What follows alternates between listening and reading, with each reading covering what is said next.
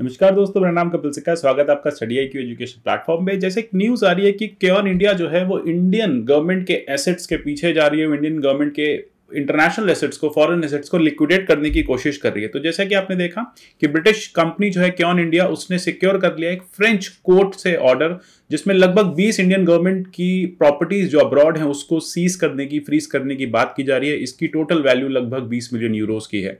ये पहला ऐसा ऑर्डर है, जो इंडिया के अगेंस्ट लाया गया है। इसमें 1.2 बिलियन डॉलर का आर्बिट्रेशन अवार्ड इंडिया के अगेंस्ट दिया गया है के इंडिया का। तो के इंडिया जो है, यहाँ पे वो जीत चुकी है। ये एक इंपॉर्टेंट आर्बिट्रेशन हो चुका है, यहाँ पे बहुत ज़्यादा इंडियन गवर्नमेंट को लॉसेस होने वाले हैं और इसी के चलते अब हम देखेंगे कि कैसे गवर्नमेंट ऑफ़ इंडिया इससे बचेगी। कहा जा रहा है कि रेट्रोस्पेक्टिव टैक्स डिस्प्यूट था जो गवर्नमेंट ऑफ़ इंडिया के एक लॉ की वजह से अराइज हुआ। फाइनेंस मिनिस्ट्री ने तो कहा है, अभी तक उनको ऐसा कोई कम्युनिकेशन नहीं मिला है फ्रेंच कोर्ट से, वो फैक्ट्स को असरटेन करने की कोशिश कर रहे हैं। तो जानेंगे इस वीडियो में कि क्या इंडिया कैसे एक फ्रेंच कोर्ट से ये ऑर्डर ला सकती है इंडियन प्रॉपर्टीज़ को कैसे पेरिस में फ्रीज कर सकती है, कैसे वो एसेट्स को लिक्विडेट करेगी किस तरह पहले भी कभी इंडियन गवर्नमेंट के साथ हुआ है और इंडियन गवर्नमेंट इससे कैसे बचेगी? क्या क्या ऑप्शंस हैं इंडियन गवर्नमेंट के पास? आप स्टडी आईक्यू पे विभिन्न माध्यमों से हमसे जुड़ सकते हैं। मेरे जितने भी वीडियोज़ आते हैं, इन सबके पीडीएफ में Telegram channel at the rate Kapil live से डाउनलोड कर सकते हैं। आप मुझे एट द रेट कपिल से का ट्विटर हैंडल पे भी फॉलो कर सकते हैं। तो एक बार जल्दी से टाइमलाइन देख लेते हैं 2004-2007 में क्योन इंडिया ने इन राजस्थान में कुछ ऑयल फील्ड्स को डिस्कवर किया लिस्टिंग करी बीएसई पे। उसके बाद 2011 में वेदांता ने एक्विजिशन कर लिया, लगभग 58 परसेंट जो शेयर हैं वो खरीद लिए क्योन एनर्जी के। अब यहाँ पे 2012 में आपको याद होगा वोडाफोन टैक्स डिस्प्यूट हुआ था, जिसमें सुप्रीम कोर्ट ने वोडाफोन के फेवर में रूलिंग की थी। ये टैक्स डिस्प्यूट रेट्रोस्पेक्टिव लॉज को लेके था। तो गवर्नमेंट कुछ लॉज लेके आई थी रेट्रोस्पेक्टिव मैनर में, जिसमें कहा था कि कोई भी कोई भी अगर यहाँ पे इंटरनेशनल कंपनी या कोई भी कंपनी इंडिया में आती है और इंडिया में वो कोई बिज़नेस करती है और अपने अपने जो शेयर्स हैं वो इंडिया में लिक्विडेट कर देती है तो जब भी वो बेच के जाएगी तो उसे कुछ टैक्सेस देने पड़ेंगे, उसको कुछ कैपिटल गेंस टैक्स देने पड़ेंगे। तो इसी के चलते वोडाफोन के साथ भी टैक्स डिस्प्यूट हुआ था तो वो टैक्स डिस्प्यूट तो सुप्रीम कोर्ट में वोडाफोन जीत गया था, लेकिन उसको उसको नलीफाई करने के लिए गवर्नमेंट रेट्रोस्पेक्टिव अमेंडमेंट ले आई थी टैक्स लॉज में और कहा था कि ये टैक्सेशन ट्रीटी जो है, ये काफ़ी पीछे से जो है वो एप्लीकेबल होगी। अब यहाँ पे सेम क्योन इंडिया के साथ हुआ कि टैक्स डिपार्टमेंट ने एक प्रोब को देखना शुरू कर दिया। उन्होंने कहा जो 2006 में एसेट ट्रांसफ़र हुआ था, उस एसेट ट्रांसफ़र में ये कंपनी के कुछ 6000 करोड़ की टैक्स लाइबिलिटी बनती है। 2015 में क्योन इंडिया जो है वो इंटरनेशनल आर्बिट्रेशन में ले गई थी केस 18 में आर्बिट्रेशन जो है वो उस कंपनी के फेवर में आया और मार्च 2021 में जो कंपनी है वो कोश, कोशिश कर रही है कि अपना आर्बिट्रेशन अवार्ड का जो पैसा है वो भारत सरकार से ले। तो जैसा कि हम देख पा रहे हैं कि आर्बिट्रेशन जो है वो इंडिया और क्योन के बीच में चैलेंज हुआ है, ये आया है रेट्रोस्पेक्टिव टैक्सेशन पॉलिसी को लेके। 2012 में एक एक लॉ लाया गया जिसमें ये कहा गया कि कोई भी कंपनी, अगर कोई भी नॉन इंडियन कंपनी इंडिया में अपने शेयर्स ट्रांसफ़र करती है और जब वो उन शेयर्स को बेच के जाती है तो 1962 से लेके अब तक ऐसा जितनी बार हुआ है, उसको टैक्स उसको कुछ टैक्स भारत सरकार को देना पड़ेगा। तो ये भी एक बड़ी प्रॉब्लम है कि रेट्रोस्पेक्टिव लगा दिया गया। आप सोचिए 2012 में ये tax tax taxation dispute arise हुआ और इसे 1962 से लगा दिया गया। तो ये रेट्रोस्पेक्टिव नेचर है और इस तरह के टैक्स लॉज में लग सकता है। अब यहाँ पे केन इंडिया ने एग्जैक्टली exactly किया क्या था? केन इंडिया ने एक कंसोलिडेशन बिड करी, अपने इंडियन एसेट्स को एक कंपनी के अंडर रखे। अब बाद में जब वो वो एसेट्स जो है, वेदांता ने खरीदे, वेदांता ने केयर इंडिया के शेयर्स खरीद लिए तो यहाँ पे लगभग नौ परसेंट जो शेयर्स हैं वो के एन इंडिया को वेदांता को ट्रांसफ़र करने थे। अब ये इंडियन गवर्नमेंट ने अलाउ नहीं किया क्योंकि इंडियन गवर्नमेंट ने कहा कि आप इंडिया से जब अपने टैक्स अपने जो एसेट्स हैं या फिर अपने जो शेयर्स हैं बेच के जा रहे हो, उसके बदले में आपको भारत सरकार को छः हज़ार करोड़ का टैक्स गेन देना पड़ेगा कैपिटल गेंस टैक्स आपको देना पड़ेगा। जबकि केवन इंडिया ने कहा कि 2006 में जब हमने ट्रांजेक्शन किया था, तब तो आपने ये बात रेज नहीं की थी। आप ये बात हमें 2013 में आके 11-12 में आके बता रहे हो। तो ये एक बड़ा यहाँ पे फैक्टर भी बना है कि और इंडिया की तरफ़ से कि उन्होंने कहा जब हमने 2006 में ट्रांजैक्शन किया था, तब इंडियन गवर्नमेंट ने ही इसे क्लियर कर दिया था और तब हम पे कोई टैक्स लाइबिलिटी नहीं डाली थी। इसी तरह का केस वोडाफोन के साथ भी हुआ। जब वोडाफोन सुप्रीम कोर्ट में केस जीत गया तो उसके बाद गवर्नमेंट को रेट्रोस्पेक्टिव टैक्सेशन अमेंडमेंट लाना पड़ा इंडियन एसेट्स के ट्रांसफ़र के केस में। तो सिमिलरली इसी रेट्रोस्पेक्टिव टैक्सेशन से जो यूके कि जो कंपनी है, उससे भारत सरकार ने 6000 करोड़ का टैक्स मांगा। लेकिन अब वो कंपनी ये कह रही है कि आपने एक तो UK India bilateral investment treaty को भी इन्फ्रेंच किया है ब्रीच किया है। साथ ही साथ आपने हमारे साथ फेयर और इक्विटेबल मैनर uh, में हमारे साथ ट्रीटमेंट नहीं किया है। मतलब हम फॉरेन कंपनी हैं हम कुछ इन्वेस्टमेंट लेके आए हैं यूके से आपकी बायोलेटरल इन्वेस्टमेंट ट्रीटी है आप हमें इस तरह से टैक्सेशन में नहीं ला सकते हमसे टैक्स नहीं ले सकते। इसी को लेकर लास्ट ईयर एक थ्री मेंबर इंटरनेशनल आर्बिट्रेशन बैठा ट्रिब्यूनल बैठा उसने जो है गवर्नमेंट ऑफ़ इंडिया के अगेंस्ट यहाँ पे जजमेंट दी और कहा गवर्नमेंट ऑफ़ इंडिया ने ब्रीच किया है जो गारंटी उसने बायोलिटरल ट्रीटी में दी थी. मतलब गवर्नमेंट ऑफ़ इंडिया ने यूके के साथ एक ट्रीटी साइन की। उसमें कहा कि आपकी कंट्री से जो भी कंपनीज़ हमारे यहाँ इन्वेस्ट करना चाहती हैं, हम उनको फेयर ट्रीटमेंट देंगे, हम उनको बेनिफिट्स देंगे। और ऐसे में कैन इंडिया इंडिया आ गई। अब उसने कैन की कंपनी इंडिया आ गई और उसने यहाँ पे इन्वेस्टमेंट किया। अब जब वो वापस जा रही है तो सरकार उस पर टैक्स लगा रही है उसके प्रॉफिट्स पे। तो इसकी बात यहाँ पे हो जाती है कि इक्विटेबल ट्रीटमेंट की जो गारंटी इंडियन गवर्नमेंट ने दी थी, ऐसा कहा जा रहा है कि इंडियन गवर्नमेंट ने उसको ब्रीच किया। और इसी ब्रीच के चलते इंडियन गवर्नमेंट के अगेंस्ट ही अवार्ड आया, जिसमें इंडियन गवर्नमेंट को 1.2 बिलियन डॉलर्स का कंपनसेशन देने की बात की गई। अब इस अवार्ड को इंडियन गवर्नमेंट ने एक्सेप्ट नहीं किया। इंडियन गवर्नमेंट बोली कि हम इसको अपने अकॉर्डिंग डील करेंगे, हम ये अवार्ड नहीं मानते। इसलिए अब कैन इंडिया कह रही है या कैन एनर्जी जो है, वो ये कह रही है कि हमारा ये जो 1.2 बिलियन का आप पे कंपनसेशन बनता है, या तो ये दे दो, नहीं तो हम आपके एसेट्स जो हैं इंटरनेशनल मार्केट में इंटरनेशनल कंट्रीज़ में, उसको बेचना, बिकवाना शुरू कर देंगे और वहाँ से पैसे ले लेंगे। अब यही हुआ कि आर्बिट्रेशन का जो अवार्ड है, वो हेग में डिलीवर किया गया था। इंडिया ने इसके अगेंस्ट नीदरलैंड में अपील फ़ाइल कर दी है। लेकिन तब तक, आप देखेंगे, तब तक इंडियन गवर्नमेंट के अगेंस्ट कुछ कंपनसेशन के जो जो अवार्ड्स हैं, वो स्टैंडिंग है इंडियन गवर्नमेंट को कंपनसेशन यहाँ पे देना पड़ेगा।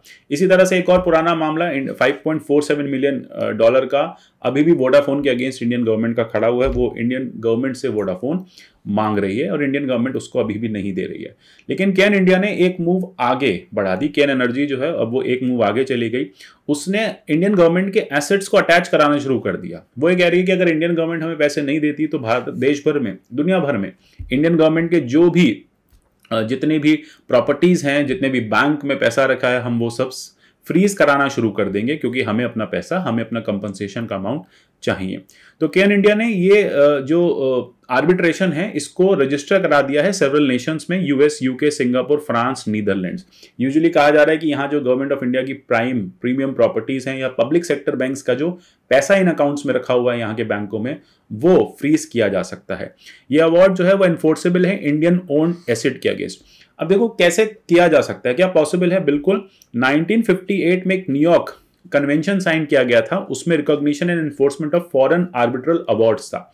मतलब अगर एक एक कंपनी एक कंट्री के अगेंस्ट कोई अवार्ड जीत जाती है कोई कोई ट्रिब्यूनल में केस जीत जाती है तो वो उसको एनफोर्स कर सकती है उसके एसेट्स बेच के।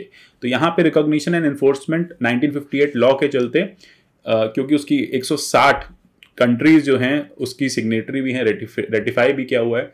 तो यहाँ पे इंडिया के जितने भी बाहर की प्रॉपर्टीज़ हैं, वो एक्सट्रैक्ट की जा सकती हैं। साथ ही साथ जितने भी पब्लिक सेक्टर अंडरटेकिंग्स हैं, उनका जो फॉरेन बैंक्स में पैसा रखा है, वो भी फ्रीज किया जा सकता है। या फिर इंडियन गवर्नमेंट या इंडियन बैंक्स की जो बाहर प्रॉपर्टीज़ हैं उनको भी लिया जा सकता है। तो ये क्योंकि इस तरह से आप देख रहे हैं, इतनी सारी कंट्रीज़ में इसको रजिस्टर करा दिया गया है और यहाँ पे आइडेंटिफाई किया जा रहा है कि लगभग 70 बिलियन डॉलर के एसेट्स जो है इंडियन गवर्नमेंट के बाहर हैं। अब इसमें न्यूयॉर्क में इसको सू किया गया इंडियन गवर्नमेंट को। न्यूयॉर्क में जो इंडियन गवर्नमेंट की प्रॉपर्टीज़ हैं, उसको, जहाँ पे एयर इंडिया का ऑफ़िस है, जहाँ से वो यूनाइटेड स्टेट से ऑपरेट करती है, उसको भी क्लेम किया जा रहा है कि इसको भी लिक्विडेट करके हमें दे दो, जिससे कि हम अपना कंपनसेशन का पैसा ले पाए। अब ये जो पूरा का पूरा सिनेरियो है, इसको लेके अभी गवर्नमेंट ऑफ़ इंडिया देख रही है कि क्या किया जा सकता है। अच्छा यहाँ पे एक और बड़ी विचित्र बात है कि क्लेम किया गया एक रेजिडेंशियल रियल एस्टेट भी, जो कहा जाता है कि इंडियन मिशन के अंडर आता है इंडियन एम्बेसी के अंडर आता है। तो क्या इस तरह से जो प्रॉपर्टीज़ इंडियन एम्बेसी की हैं दुनिया भर में, उनको भी इस क्लेम के अंडर लिया जा सकता है? तो यहाँ पे एक बात क्लियर हो जाएगी कि इंडियन गवर्नमेंट के जो अदरवाइज़ प्रॉपर्टीज़ हैं, या पीएसयूज की प्रॉपर्टीज़ हैं बैंक्स की प्रॉपर्टीज़ हैं, उनको तो लिक्विडेट किया जा सकता है। लेकिन जब बात आती है एम्बेसीज और कॉन्सुलेट्स की तो उसको नहीं किया जा सकता, क्योंकि वो इनवायबल होती हैं। वो 1961 वियना कन्वेंशन के अकॉर्डिंग काम करती हैं। तो भारत सरकार की जो एम्बेसीज हैं, जो कि क्लीन एनर्जी मांग मांग रही है फ्रांस की, वो नहीं मिलेगी क्योंकि वो लॉ के अगेंस्ट है। हाँ बाकी जितनी एयर एयर अगर एयर इंडिया की कोई प्रॉपर्टी है स्टेट बैंक ऑफ़ इंडिया की कोई प्रॉपर्टी है, भारत सरकार की अपनी कोई अलग से प्रॉपर्टी है। कोई कोई वहाँ पे उन्होंने कोई ऐसी रेजिडेंशियल प्रॉपर्टी क्रिएट की हुई है, जिसमें इन जनरल वो वहाँ पे कोई कॉन्सुलेट के मेंबर्स ना रह के इन जनरल गवर्नमेंट ऑफिसर्स जाके रहते हैं तो वो सारी चीज़ें सीज की जा सकती हैं और वहाँ से ली जा सकती हैं। आइडिया यही है कि जो सॉफ्ट पावर के जितने भी सिंबल हैं, चाहे कोई यूनिवर्सिटी इंडियन गवर्नमेंट ने स्टैब्लिश की हुई है, वो सारी ली जा सकती हैं, इनको ईजी टारगेट बनाया गया। तो यहाँ पे एक बात क्लियर हो गई कि एम्बेसी जो फ्रेंच एम्बेसी की जगह इंडियन एम्बेसी इन फ्रांस की जो जगह यहाँ मांगी जा रही है, वो नहीं मिलेगी। अच्छा इस तरह का क्या पहले भी कभी हुआ है कि ये पहली बार किसी गवर्नमेंट के, के अगेंस्ट इस तरह का अवार्ड आ रहा है? ऐसा पहले भी होता है। हमने देखा अर्जेंटीना के अगेंस्ट ऐसा हुआ था घाना में। घाना में उनकी जितनी भी प्रॉपर्टीज़ जो शिप वगैरह थे वो सब सीज कर लिए गए थे। साथ ही साथ इसी तरह से और भी जगह होता है। तो अर्जेंटीना के साथ ये हुआ है घाना घाना में इसके अलावा आप देखेंगे कॉनको फिलिप्स ने वेनेजुएला के साथ ऐसा किया है कि जब वेनेजुएला ने कॉनको फिलिप्स कंपनी के पैसे नहीं दे पाई थी तो उसके एसेट्स वेनेजुएला के एसेट्स जो हैं वो सीज करा लिए गए थे। इसी तरह से ब्रिटिश वर्जिन आइलैंड्स में पाकिस्तान की कंपनी के अगेंस्ट भी हो चुका है। यूएस में मैनहटन में जितने भी उस उस पाकिस्तान एयरलाइंस के इंटरनेशनल एयरवेज के जो प्रॉपर्टीज़ थी वो सारी सीज करा ली थी एक, एक प्राइवेट कंपनी ने। तो आइडिया बस यही है कि जब भी इस तरह के क्लैशेस होते हैं तो स्टेट सॉवरेनिटी जो है, अब इंडियन गवर्नमेंट कहेगी कि हम सॉवरन है, हमसे इस तरह के क्लेम्स नहीं मांगे जा सकते, लेकिन इंटरनेशनल आर्बिट्रेशन में एक रूल होता है कि अगर कोई भी कंट्री उस इंटरनेशनल आर्बिट्रेशन का पार्ट बन चुकी है तो उसको अपनी सॉवरिटी फॉरगो करनी पड़ती है, क्योंकि जो भी इंटरनेशनल आर्बिट्रेशन का अवार्ड आता है मतलब जो जजमेंट आती है, उसको एक्सेप्ट करना पड़ता है। तो इस तरह की इंडियन गवर्नमेंट के और भी क्राइसिस की सिचुएशन चल रही है, देवास मल्टीमीडिया में भी 1.3 बिलियन के अवार्ड इंडिया को अभी देना है देन केरन एनर्जी तो हम देख ही रहे हैं। केरन एनर्जी में इशू आ ही रहा है, साथ ही साथ वोडाफोन में भी टैक्स डिस्प्यूट अभी तक रिजॉल्व नहीं हुआ है। अब ऐसे में इंडियन गवर्नमेंट क्या करेगी? अभी तो हमने देखा क्या हुआ कि एक तरफ़ जो ब्रिटिश फर्म है एनर्जी फर्म है, वो कह रही है कि हमारे 1.3 बिलियन डॉलर्स का जो भी हिसाब बना है वो हमें दे दो। आप नहीं दोगे तो हम आपकी प्रॉपर्टीज़ बेच देंगे, जितनी भी इंडिया के बाहर हैं।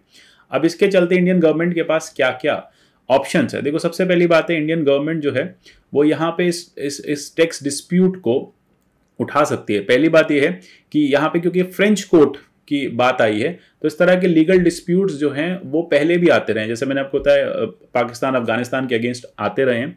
तो अब इंडिया को क्या करना होगा? इंडिया को ये प्रूव करना होगा कि ये जो अपील कंपनी ने की है ये मेलाफाइड इंटेंशन के साथ किया। मतलब यहाँ पे क्लियर इंटेंशन नहीं है। हमारा पहले ही डील हो गया था इस कंपनी के साथ कि आपको इतने थाउज़ेंड करोड़ का टैक्स देना पड़ेगा। ठीक है, इस कंपनी ने दिया नहीं, सुना नहीं। तो इस तरह का इंडिया को प्रूव करना होगा कि ये जो अपील है, ये गलत है। ठीक है, दूसरी बात है, या फिर आउट ऑफ़ कोर्ट सेटलमेंट करना पड़ेगा कि ठीक है, हम आपका टैक्स जो है फॉरगो कर देते हैं, आपके जो भी एसेट्स के ट्रांसफ़र हम अलाउ कर देंगे, आप अपने शेयर बेच के चले जाओ यहाँ से, हम आपसे कोई पैसा टैक्सेशन के फॉर्म में नहीं लेंगे और बदले में कंपनी कह दे कि हम भी आपसे कोई कंपनसेशन नहीं मांगेंगे। तो एक आउट ऑफ़ कोर्ट सेटलमेंट की भी बात यहाँ पे इंडियन गवर्नमेंट कर सकती है। इनफैक्ट इंडियन गवर्नमेंट को पता है कि क्या इसके रिपरकर्शंस होने वाले हैं, इसलिए इंडियन गवर्नमेंट ने अभी हाल ही में अपने बैंक से कहा है कि जो भी पैसा आपके फॉरेन अकाउंट्स में रखा है, उसे विड्रॉ करना शुरू कर दो। क्योंकि देखो फॉरेन अकाउंट्स जो हैं, जितने भी foreign accounts foreign currency accounts S B I P N B जितने भी इंडियन स्टेट बैंक्स बाहर खोलते हैं, सरकारी बैंक तो उनको भी सीज किया जा सकता है, उनको भी फ्रोजन किया जा सकता है। तो यहाँ पे इंडियन गवर्नमेंट थोड़ी सतर्क हो गई है, उसने कहा एसबीआई से कि अगर फ्रांस के किसी बैंक में आपका अकाउंट है तो वहाँ से पैसा निकाल लो। न्यूयॉर्क में किसी बैंक में अकाउंट अकाउंट है तो वहाँ से पैसा अपना निकालना शुरू कर दो। अब यहाँ पे इस तरीके से क्या इंडिया भी करता आया बिल्कुल इंडिया भी करता आया है। इंडिया ने भी इस तरह बहुत प्रॉपर्टीज़ का सीजर किया है। पहले भी काफ़ी केसेस आए हैं। कि इंडिया की जो प्राइवेट कंपनीज़ हैं, वो इंटरनेशनल वो बाकी कंट्री से अगेंस्ट इस तरह केसेस ला चुके हैं और जीती भी हैं।